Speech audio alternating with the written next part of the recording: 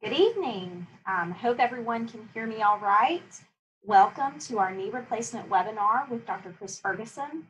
We will get started momentarily, but first I want to just take a moment to explain our format tonight. In a minute, I will introduce Dr. Ferguson and he will present on our topic. In order to keep background noise down, all participants will be muted throughout the presentation um, and if you find yourself not being muted um, for any reason, if you could go ahead and mute yourself, I would, would be greatly appreciated. Um, the presentation is being recorded and it will be shared on our website hopefully tomorrow. Um, if not latest, will be Monday um, afternoon. Uh, all that said, we do welcome questions. So please feel free um, to send your questions to the host via the chat feature on your Zoom toolbar it is usually found at the bottom or perhaps on the side of your screen. Um, at the end of Dr. Ferguson's presentation, we'll open the floor for questions.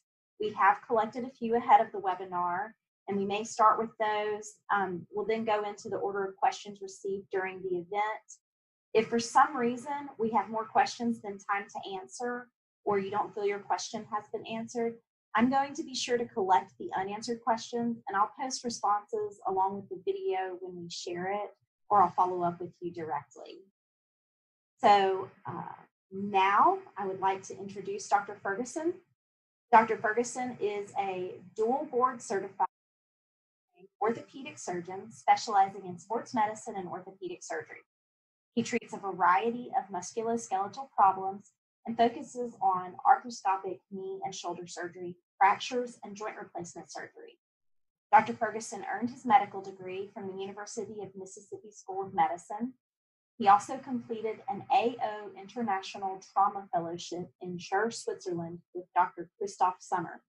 When he's not at work, Dr. Ferguson enjoys spending time with his family, reading, and participating in outdoor sports. Dr. Ferguson is married with three daughters. He serves as the team orthopedic surgeon for St. Mary's Episcopal School and Brighton High School. He is a certified shooting instructor and is a coach for the nationally ranked St. Mary's High School trap shooting team. He is also currently serving on the Engineering Advisory and Advancement Council for the Ole Miss School of Engineering. As you can see, he's a busy guy, but he still found time to sit down with us tonight and discuss some neat advancements in knee replacement surgery so without further ado, take it away, Dr. Ferguson. All right, thank you. And uh, thanks, Melissa, for the introduction, and thanks to everyone for joining the webinar. Um, my name is Chris Ferguson. I'm an orthopedic surgeon with OrthoSouth. Uh, just a little bit about our organization. We have 35 physicians with eight clinics, um, including two surgery centers. We have regular weekday hours as well as extended after hour care uh, at uh, several locations. We have a Saturday clinic. We have, uh, in particular, 19 knee specialists with nine joint replacement specialists. And we offer a wide range of care from conservative management to injection therapy to arthroscopic surgery, all the way to knee replacement. And we'd be happy to see you as a patient.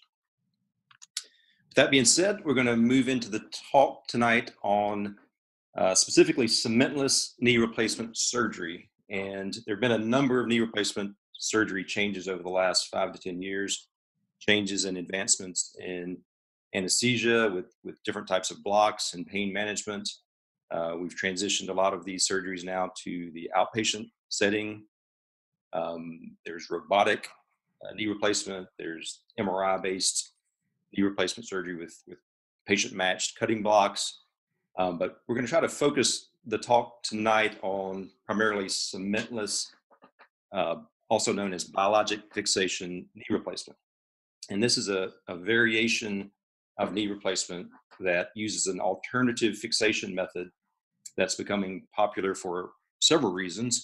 Um, one is patients that need knee replacement surgery are uh, living longer, uh, they're younger than they used to be, um, they're staying active longer, and also patients are are heavier. As you know, there's a uh, increasing rate of obesity in the country, and so so young active patients and heavy patients put high demands on knee replacement uh, or knee implants, and for that reason, uh, many orthopedic surgeons are now turning to this biologic fixation knee in order to allow patients to uh, remain more active and also to do these uh, joint replacements in a wider range of patients. So just to talk about knee replacement in general before we get into the specifics of the, the, the cementless knees. Knee replacement surgery is a, a surgical procedure that is um, basically to replace the damaged uh, joint surfaces of the knee. So as as knees start to wear out, the arth- the the arthritic changes occur in which the cartilage starts to wear out, and you have uh, eventually bone rubbing on bone within the knee, which generates pain and swelling and stiffness and, and all of the dysfunction that um, goes with knee arthritis. So commonly knee joints are damaged by arthritis, either osteoarthritis or rheumatoid arthritis, or a traumatic injury that leads to arthritis through damage to the joint. Knee replacement surgery becomes an option once conservative treatment has failed. And so conservative treatment can consist of, you know, anti-inflammatories, physical therapy, cortisone injections, uh, the visco supplementation we also, also call gel shots. Um, but once all those things fail to control pain, then we move into uh, discussions on knee replacement. So this is a little animation. So there's no blood. There's this is just a basically a computer uh, uh, animation that shows the knee replacement process. We'll go through that just so that you can kind of see what what's involved. So uh, basically go down through the the skin and the muscles and get down to the bone, and you can see these two joint joints here. So this upper bone is the femur, the bottom bone is the tibia. We'll sort of play this again because it runs a little bit fast, but this is sort of the process in a nutshell. Um, let me rewind here and we'll sort of pause it so that we can see what all's going on here. So stop it here. So this upper bone here is the, the thigh bone or the femur, and the bottom bone here is the tibia or the, the, the leg bone. And so the joint in between is the knee joint. And typically these joints are covered with a thick layer of cartilage that provides cushion so that when these bones uh, when the knee moves, these bone, bones rub against each other. There's not pain present. So as this arthritic process evolves and the cartilage wears away, the exposed bone underneath the cartilage uh, causes pain as this, this friction occurs between the bones. So what we do is we resurface the, the, the joints. So a lot of people come in, they ask questions, and just in talking with patients, there's a, a, misconception that we just go in there and basically take the whole knee joint out that we you know come up here and and cut the bone up here and we cut the bone down here and we put this big metal hinge in there. That's really not what we do with with knee replacement surgery. Um, you can see here we'll let it play a little bit more. All right so you can see the ends of the bone now have been cut and so we make these cuts on the end of the bone that correspond to the inside of these joints uh, these implants that we put in place. And so what we're really doing is just resurfacing the ends of the bone so that we have something that's uh, covering the ends of the bone. And when people move the knee or walk on the knee, you don't have bone rubbing on bone. All right, so these are the implants. This upper implant you see here is called the femoral component, and that is a kind of a C-shaped component that covers the end of the, the femur, which is round. The tibia is a flat surface bone, so the, the tibial implant, as we can see here, is a, is a flat component. And this white piece you see in between is called the, the tibial uh, insert or the spacer, and it's made of a, a type of kind of high grade plastic, space age plastic that has uh, very durable wear characteristics and is designed to last for a long time. But that's that's in a nutshell what is involved in knee replacement surgery. All right, so traditional knee replacement surgery. Uh, it's been routinely performed since about 1968. It uses bone cement to bond the implants to bone. So when you saw on that animation where the, the metal parts were sort of joining with the bone, the way that traditional knee replacement works is a bone cement is used to bond those components to the bone. It's currently the gold standard it's a great surgery and it has a, a an excellent track record uh, over long, you know, many, many years. And it is without question the best option in patients with poor bone quality, osteoporosis, uh, bone cysts or bone defects. But one of the downsides, or one of the, the reasons that uh, we've explored these other fixation techniques, such as the, the cementless knee, is that bone cement is a material that has mechanical properties and it can degrade over time. So typically we see about after about 15 years or so, you can start to see this bone cement starting to break down. And in particular, it breaks down in a couple of different populations more so than others. So in, in young active patients and in heavy patients, those two subsets of patients have a higher incidence of early failure and loosening, which requires going back into the knee and replacing them. So, you know, people ask all the time, how long does knee replacement last? So, you know, when I was in my training and finishing up my training, we typically told people kind of 12 to 15 to, you know, 16 years, something like that. Now we're seeing, you know, more in the 15, 20, hopefully longer, 20 plus years with traditional knee replacement. So still a very good surgery. You know, if you've had a cemented knee, absolutely nothing wrong with it. That's, uh, you know, you should get many, many years of, of, uh, uh, of use out of that knee. So cementless knee replacement. So what are the advantages and what exactly is that? So cementless knee replacement avoids the use of bone cement altogether. It uses biologic fixation via bone ingrowth into highly porous metals. So basically the backside, and I'll, I'll show you some pictures and models of the, of the cementless knee implants in a moment, but, but basically the surfaces that connect to the bone, if you look at those under a microscope, it looks sort of like coral or you know, it's got little channels in which the bone can actually grow into that. And so once that bone grows into that, it actually becomes part of the part of the bone. And so there's no cement involved. There's no that you know removes a, a potential point of failure there. And so we're thinking that this will lead to increased longevity of the implants in both those young active patients and also larger patients and, patients with a BMI of greater than 35 in particular. So there's something, there's a concept called Wolff's Law, which uh, was worked out in the 19th century by a German scientist. And what Wolff's Law states is that bone that is under stress adapts to that stress. So the more stress that is put on bone, the stronger that bone becomes. We see the converse as well. So patients that are, uh, you know, bedbound or bedridden, their bones actually start to become weaker over time. So this is actually a, a Wolff's law is actually a benefit to the cementless knee because basically says as you put more stress on this knee, the bone gets stronger as opposed to with a cemented knee as you put more stress on a cemented knee it's going to put more stress on the cement and potentially uh, cause failure over time.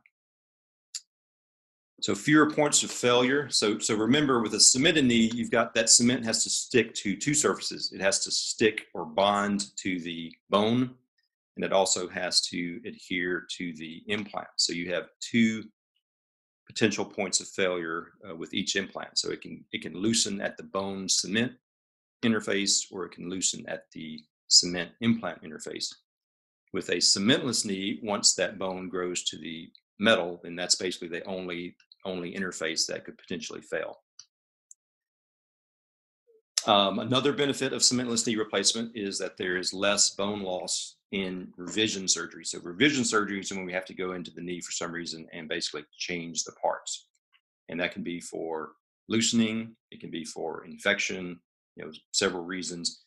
Um, in, infection in particular, so if a knee gets infected, that's a that's a big problem. Obviously, we, we do all the things that we know to do to avoid that, but unfortunately, we'll never be able to eradicate infection 100%. There'll always be uh, some cases of infection. Right now, nationwide, the average is about 1%, so fairly low probability of, of ending up with an infected knee, but still happens.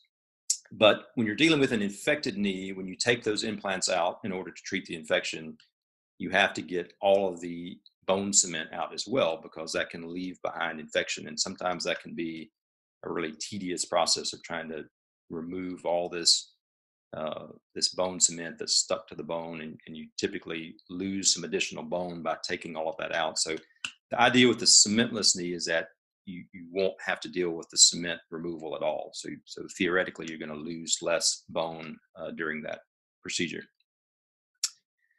And the percentage of cementless total knee replacement is increasing. So I, I started doing this surgery back in 2017, April 2017. Um, and each year since then, I've pretty much doubled the number of cases that I've done cementless. I still do quite a few cemented knees. Uh, we still have many patients that that's the, the best option for.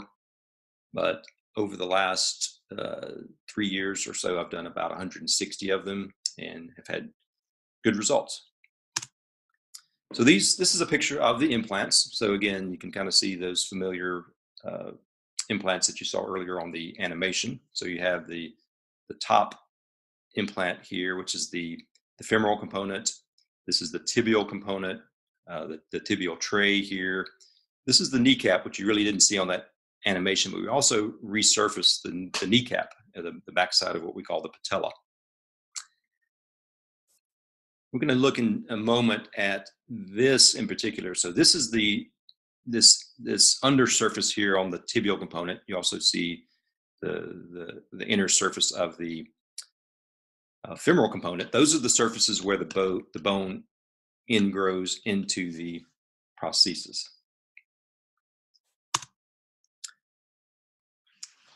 All right, so what are the important design features of the cementless knee? So there's a couple of things that have to occur with the cementless knee for it to be a success. So the first thing that has to happen is that we have to achieve initial mechanical stability, meaning we these implants have to remain stable in the knee until the bone actually grows to it.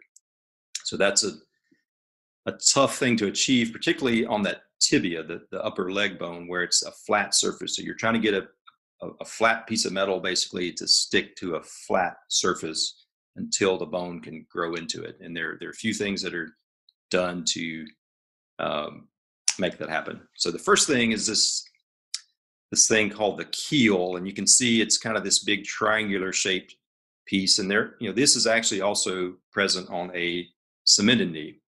But what we do is we make a little trough basically in the in the top of the tibia that's that's the same shape of, as this, but it's just slightly undersized so that when we implant this down into the bone, this gets kind of a wedge fit. So it, it's a press fit in there. The other thing you can see these pegs. So there's four pegs on the on the cementless knee that I use, and you can see they're kind of a, a plus shape. You don't, it's not a great, you can't see it 100%, but basically there's, it's kind of a plus shape here. And when they were designing this knee, they looked at a bunch of different configurations, round pegs and square pegs and triangular pegs and all kinds of shapes. And in the computer modeling and testing, they found that this cruciform shape gave the best stability. So that's a, a second form of fixation. Also, the, the undersurface of this, if you if you rub your finger along that surface, it's rough, almost like a sandpaper. So that's it's called the increased coefficient of friction. So that that increased friction surface there uh, resists that tray moving and keeps it still while the bone is trying to, to grow in into it. Um, okay, so the the porous coating though, this this undersurface is really the the, the secret to the cementless knee replacement and, and the advances in technology um, over the last years, particularly with computer aided design and computer manufacturing and, and 3D printing, which we'll talk later about. That's really what has made this, this new generation of cementless knees successful. Cementless knees were tried back in the you know 80s and 90s and didn't have a great track record back then, mainly because they couldn't figure out a way to, to make this uh, this bone ingrowth surface really work successfully. They tried uh, screws and, and different ways of trying to achieve that stability, and it just didn't work as well as we would have liked it to. All right, so here is a magnified picture of of that surface. So if you look on the left side of the screen, you see what's called cancellous bone. So that's what bone looks like under a microscope on that surface where we're trying to get these, these implants to adhere to. And on the right side, you can see a magnified picture of that surface underneath the implant. So they look very similar. And, and the hard thing to accomplish is to get these pore sizes. So these little openings where the bone grows have those pores have to be of a certain size for the bone to grow to it. And in, in years past, when they were trying to make this work, they just couldn't reliably um, make these pore sizes uniform. And, um, you know, with the, the advances in technology and the 3D printing and the computer aided design, um, this has been successful. All right, so just what what do these look like in the body? So this is actually a patient of mine that on the uh, left side of your screen, her right knee, but it's if you're as you're facing it, it's on your left side. So that's a cemented knee that I did back in uh, January of 2018. So this was about six months after I even after I started doing cementless knees. This this patient was in her early 60s, and, and when I first started doing this, I was only doing the cementless knees in patients that were in their 50s. Um, but she's done well with this knee. As you can see, this is a cement a cemented cemented knee. You can see the the little hazy outline right here. That's the bone cement that is adhering to the implant and also into the bone. On the right side of your screen is a cementless knee, and this was put in in August of 2018, so about nine months later. Um, patient had very, very good bone quality. I talked to her before surgery and said, "Hey, we've been doing some of these cementless knees. You know, you had a cemented knee on the right. You did well with it. You know, what do you think about doing a cementless knee and, and see how that one performs?" And she was she was fine with it. She's now two years out. Um, it's done well. Both knees are, the motion is the same, function is the same, uh, has no pain in either knee. She's very happy with both of them. She really can't tell any difference in the two. Um, but this is what they, they look like. You can kind of see the, the keel here. These are the pegs that we talked about earlier. This is a video. So let me back up for a second. So we talked earlier about 3D printing, and I know a bunch of people are saying, "What the heck is 3D printing? What does that mean? Is it like a computer printer? Is it you know how does that thing work?" So really, what 3D printing is is it's a it's construction of a 3D model from a computer design by something called additive manufacturing. You know, I think of it as like Legos. So you basically start, you're trying to build whatever, an airplane out of Legos, and you start with a base layer and you put down your Legos, and then you add another layer and another layer, and, and you follow a pattern and you create this, whatever this 3D design that you're trying to build out of Legos. So I'll show you a video that's really neat that shows how these uh, tibial trays are made uh, through, through the 3D printing uh, process.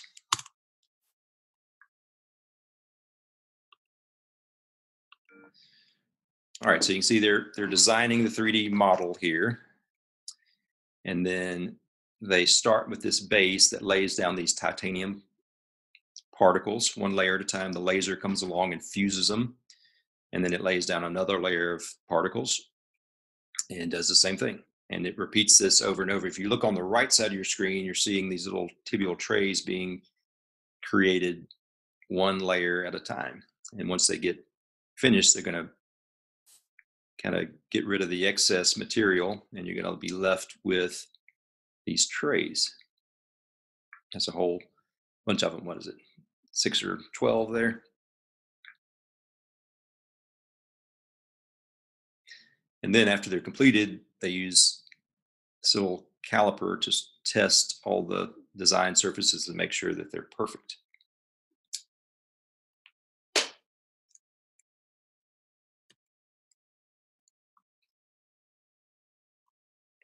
All right. All right, so outcomes of cementless total knees. So there have been a lot of studies um, comparing cementless knees versus cemented knees. Um, so far, they've not shown any significant differences in post-op pain, blood loss, or function. There is an advantage in that there's a reduction in OR time um, simply because that you don't so the cement bone cement takes about you know 15 minutes or so to cure so you're eliminating that process Um, 15 minutes is not a huge amount of time, but really there's no benefit to longer OR time. So the longer you're in the OR, the higher the complication rate, higher risk of infection. So if you can eliminate time, that's that's always a good thing as long as you're not compromising, you know, the result. The post-op protocol is the same. So I'll let my patients, whether they have a cemented knee or a uncemented knee, I let them do the exact same thing. They're they can weight bear from the get-go. You know, we're doing these in the surgery center. In fact, I did did one of these this morning in the surgery center, and the patients, you know, recover for you know a couple hours and work with physical therapy, and they go home. Um, high reported patient satisfaction. The studies in the early and midterm studies have shown good implant survivorship. Um, you know, we don't have 20 years of follow up on these knees yet, and so it'll be it'll be for me you know i've been doing them three years it's going to take you know another 17 years to get 20 years of follow-up but but the results we have so far are encouraging and because the fixation is through bone growing to the implant we would expect if these are going to fail we would expect that to occur fairly early on once the bone grows to the implant it's it's stable and we would expect it to last for many many years um, there are good clinical and radiographic outcomes reported. In fact, there was a, a review article that was just published last week in something called the Journal of Bone and Joint Surgery, which is sort of our big peer reviewed orthopedic journal. And this study looked at um, 8,187 cementless knees with a average follow-up of seven years post-op. And the overall revision rate uh, for loosening was about 1%, which is comparable to modern cement, uh, knees. Again, so this is encouraging. If they fail, we expect these to fail early, and it just so far in the five to seven year range, it does not look like they're they're failing any more frequently than the uh, cemented knees. So what's what's the kind of the upshot? What what do we expect with this? So total hip replacement sort of went through this process you know 12 or 15 years ago when i was in my training during that time frame we did about 50% of our total hips were cemented femoral the part that goes into the femur the, the uh, thigh bone those were cemented and about 50% were uncemented well over over the last 12 to 15 years total hips have pretty much transitioned to uh, completely non-cemented hips. So uh, i would expect you know today there were probably i don't know 20 or 30 total hips done in the city of memphis. I would be surprised if any of those hips were were cemented hips. And so i expect the same thing to occur over the next probably four to five years. I think by that time you're going to see 50% or more of the total knees will be cementless knees all right so that's the the formal presentation and be happy to to answer any questions Thank you so much, Dr. Ferguson. Um, we actually have had several questions come, th- come through. Um, so at this point, uh, I will be moderating those questions and sending them over to Dr. Ferguson. And um, I don't know, Dr. Ferguson, if you would like to uh, show your face, um, feel to. Yeah, let me stop the screen sharing here.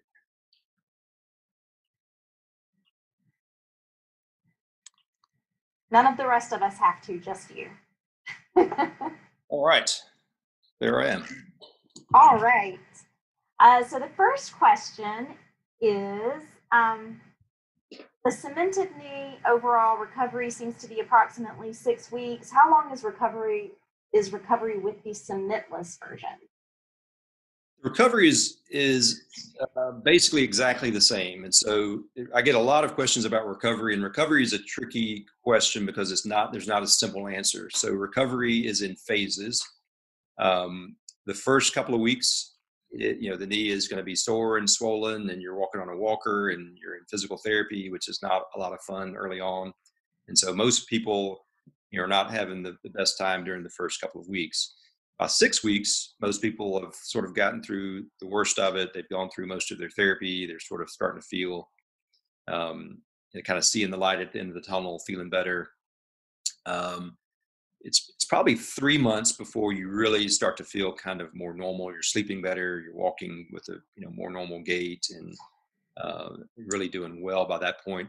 But as I tell all of my patients, you know, it's really nine months or even a year before you are as good as you're going to get. You can still get uh, improvement in your strength, your ability to climb t- uh, stairs, how far you can walk, and so it's a uh, the, the short answer for full recovery from knee replacement. You're you're still looking at nine to nine months to twelve months, but there's no difference really between the, the cemented and cementless. Um, is there an age where cementless knee is not an option? Um, not not uh, not a hard cutoff, but it really has to do with the bone quality. Um, as I said, when I first started doing this, I was, was very careful. I didn't I didn't want to uh, push it too much as far as you know getting into someone with with soft bone. So I really had a cutoff of about age you know 60 or so. But as I've gotten more familiar with it, and uh, you know we we have whenever I do one of these knees, I, I have cemented implants available and I have cementless, and I wait till I actually see the quality of the bone. And as long as the bone quality is is good, then theoretically the cementless knee will work. Now, you know, is there reason to, to you know you have a patient that's in their 70s? Is there reason to do a cementless knee? Probably not. I mean, you know, the cemented cemented knees are lasting you know 20 years or so so there's really not a lot of benefit to doing a cementless knee in, in a patient necessarily in their 70s though you probably could do that. Uh, the next question uh, have these been done by others for a longer time or is three years about the norm so far? Um, the knee that i use Stryker knee um, i think it was first used commercially in 2014. So I, I, did not start using it immediately. I wanted to sort of watch it for a couple of years. There's some others that uh, were involved in the the development of the knee who started using it, you know, as parts of studies earlier than that. Um, but um, so yeah, I hope that answers the question. I've been doing it for three years. The the knee itself has been out since 2014 for for widespread use. Um, and but I think there is some data, you know, going out to about 10 years with this knee, you know, through some of the docs who who actually uh, designed it. Awesome. Uh, the next question: How long does it take for the bone to grow into the implant? Um, so we we follow these patients pretty closely. So we think around three months, maybe a little bit earlier. I typically see patients on a schedule. So we do the surgery, we bring them back in a, in a week to 10 days.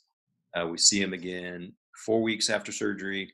We see them another, you know, six weeks later, and then at, at three months. Each time they come in, we take x-rays so that we can kind of monitor these implants and make sure that they're not shifting or moving or, you know, showing any signs of loosening.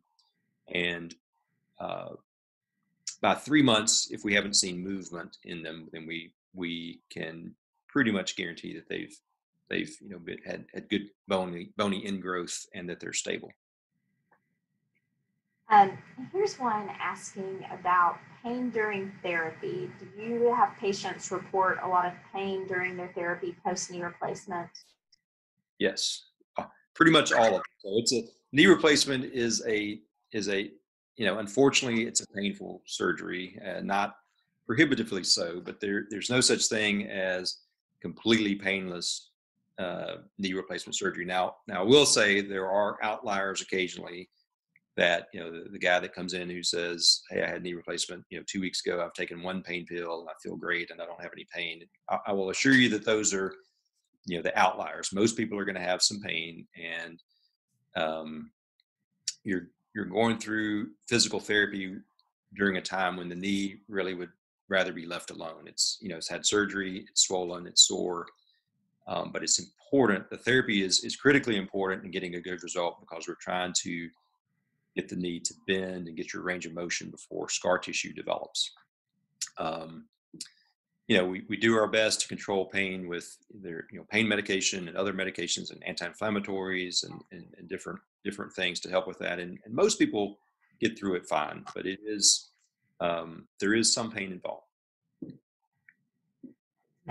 Uh, so if someone has had a partial knee replacement, does that prohibit a total knee replacement?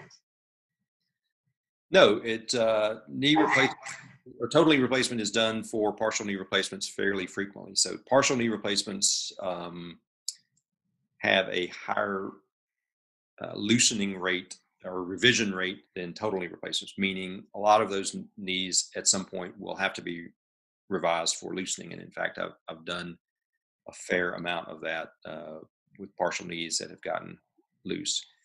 I don't do, I've done a few partial knees over the years. I just, I don't, in my practice, I don't see um, um, a lot of patients that I think are good candidates for it.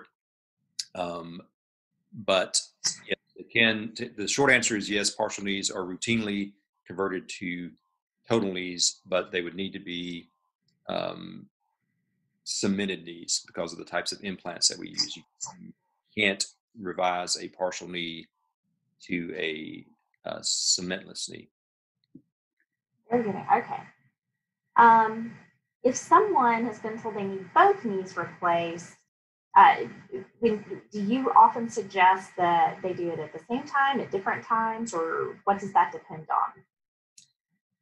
You know, I've done bilateral knees, simultaneous bilateral knees um, a fair amount. I did it, you know, uh, certainly years ago, but I've I've gotten to where I really recommend patients, unless they have really extreme circumstances, you know, if their their insurance is running out or there's there's something where they just have to do it, it can be done and they can get through it. But I think people do better if they sort of tackle this one at a time so they can really focus all their effort on getting the best result they can out of out of one knee.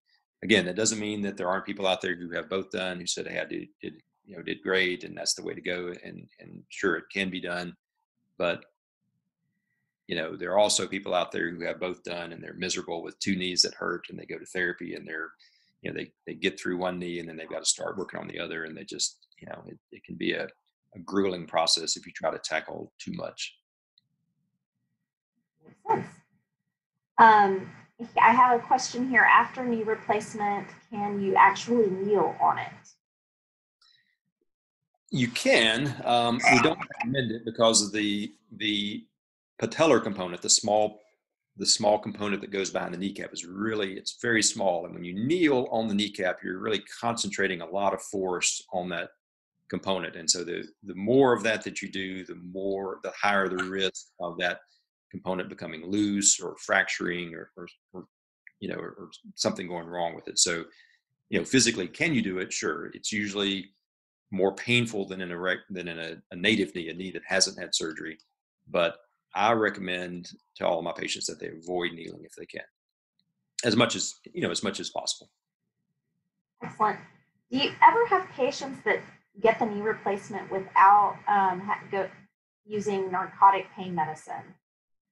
Yes, we've actually uh, with anesthesia at our at our uh, surgery center in Germantown. We've actually been uh, working with this, and we've done a few total joint uh, procedures now where the patient gets no narcotics at all during surgery using di- different medications. Um, another question is Is there any difference between cemented and cementless implants as far as stability after the surgery? I'm sorry, the, the sound broke up. Oh, sorry. Is there any difference between cemented and cementless implants as far as stability after the surgery? Uh, no. So our goal is to you know complete stability of, of both. So the cement, once the cement cures, the the cemented knee is stable. The you know as I was talking in the the, the talk, one of the the keys to a successful cementless knee is to get initial stability so that that that those implants are stable so the bone can grow into it so you know our, our goal is to have equal stability for both of those types of implants and another person has asked can you expand on the quality of bone that is necessary for the surgery um, it's a little bit subjective you know it's a little bit when the doctors who do these uh, and are, are, sort of do do enough of them and see see different types of bone quality, you can pretty much tell what bone is what we call uh, you know good bone quality versus what we would consider osteoporotic bone. So osteoporotic bone um, tends to be more porous and it is, is physically just soft. Sometimes you can just take your finger and kind of press against the bone and it'll it'll sort of depress you'll make a little depression in the bone where the bone just feels soft. And that's that bone is not you know would not be uh, considered good enough quality to um, to put a cementless implant in. Um, here's one of the questions that we received early on. Uh, can you use robotic assistance with the cementless knee replacement surgery? Yes, that is being done. Um, another question, how many years should a typical knee replacement last? Yeah, we get that question a lot, and it's a little bit hard to answer because um, you know you don't know how many years a, a new design knee is going to last until you get to the, the failure point. And so, what we're really seeing right now are failures in previous generations of knees. So knees that were done, you know, 20 years ago or, or more, they're starting to fail. But the, you know, that's 20 plus year old technology. So the, the newer knees with the newer, uh, you know, there have been advances in a lot of areas, but one of the key advances is in the quality of that plastic spacer, the, the insert that goes between the, the metal components. And so that's playing a big role, we think, in the, the longevity of these newer the newer knees. Um, you know, the knees, I, have been in practice for 13 years and, and knock on wood, I've not had to revise any of the knees that I've done in that those 13 years for, for loosening. Um, and so we're hoping that these knees are going to last 20 plus years, maybe more, but it's, it's really hard to sort of nail down and say, you know, it's going to last 22 years versus 20 years versus 19 years. It depends also on the the patient, how active they are, how heavy they are, you know, how many how many miles they put on the knee, so to speak. Great question. Uh, great answer. Great question too. Um, how long is a typical operation and post-op recovery? Yeah, so the a cemented knee is again depending on a lot of factors, how much deformity is present, you know, the size of the patient. Um, a cemented knee is typically going to be somewhere around you know, maybe an hour to an hour and a half. Uh, cementless knee, maybe 45, 50 minutes to an hour and 15 minutes kind of would be a typical cementless knee. And then recovery was sort of kind of what we went over earlier about the the phases, the two weeks and six weeks and you know nine months for full recovery kind of thing. Um, are there any pre-surgery exercises that a patient should do or things that they should try or make sure that they do before going into surgery? Yeah, I think, you know, it's going to be the, the limits are going to be there based on how bad their arthritis is and what they can tolerate. But certainly, we encourage patients to to be to remain as active as they can be. Um, you know, maintain as much knee motion as they can, as much knee strength. So, low impact exercises, I think, like like cycling, riding a bike, whether it's a stationary bike or a bike you ride out outside, um, that's very good exercise for the knee. It's low impact. It tends not to cause a lot of pain. It works on knee range of motion as well as strengthening some of the muscles around the knee, which are important for your recovery. So, you know, if I had to give someone one, you know, one thing to do, it would be cycling. I think that's a good one. Awesome. And it looks like we have an athlete here. Um, he says, I'm 64, still water ski, um, would, would a knee replacement put a stop to that? Um, you know, it's probably not something that most doctors would recommend. Um, we tend to want people to sort of protect these as much as they can just because we want them to last as long as possible. Um, how active patients are after surgery is really up to the patient in, in many respects. You know, our, our job as surgeons is to tell them what is what are the risks what are the risks of being you know too active what can go wrong? You know the more stress you put on these the less uh, the less number of years you're going to get out of the knee. But people people undergo this surgery for a lot of reasons. They want to get back to doing things that they can't do and uh, they want to you know alleviate pain. They want to gain motion lots of reasons. But my job is to sort of inform patients on what the risks are and then let patients, you know, make their own decision as to what level of activity they want to get back to. Um, someone asked if you have two knees that are are giving you trouble, do you suggest doing the most problematic knee first or the least problematic knee? I generally tell them just to whichever one hurts the most, and, and that's an brings up an interesting uh, uh, point. A lot of times we'll take X-rays of you know, a person will come in and they've got two bad knees. We'll take X-rays and, and one will look terrible on X-ray, and one will look bad, but not not as bad as the terrible one. And they'll say, well, you know, this this one that doesn't look so bad on X-ray is the one that hurts or hurts worse. And so I typically just tell patients, whichever one is giving you the most trouble, that's the one we need to do first, and then uh, tackle the other one down the road. Awesome. Now, for some folks here um, who might be already seeing other OrthoSouth doctors, um, if they are there any other surgeons um, at OrthoSouth who are also doing the cementless knee? Yes, there are several. Great. Not just me. Um, and is horseback riding stressful to knee replacement? Um, it does put a little bit of stress on knee replacement, but I don't. I have patients that that ride horses. I don't. I don't prohibit them, them from doing that. Um, I have another question here that has popped up about: Do we do robotic knee replacement at OrthoSouth? Uh, we do. We do have at least one physician that is doing robotic knee replacement at one of the local hospitals. So, so to do the robotic surgery, you have to actually have the, the robot, which is a pretty expensive um, piece of equipment. Um, I've looked into it. I've done a little bit of training on the robot in in partial knees and also in hip replacement. I have not done the full uh, knee robotic uh, training.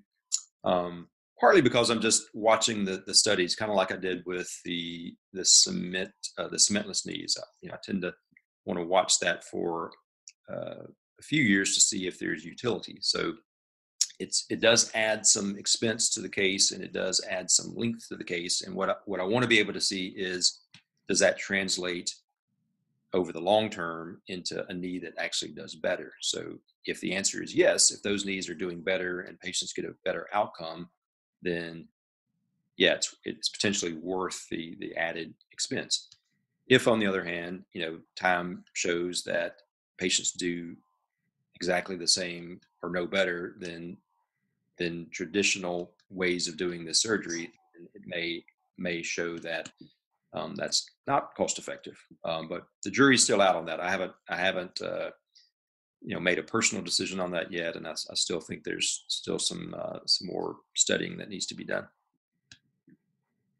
This next question, I'm probably going to uh, mispronounce very easily. It says, "Do you use any tibia implants with hydroxyapatite coating?" So HA coating, so, so many of the cementless, uh, you know, that's used in total hip, and it's also used in some components with cementless total knee that the, the tibial implant that I use is is the one that we showed you, the Stryker one that, that has the porous uh, titanium.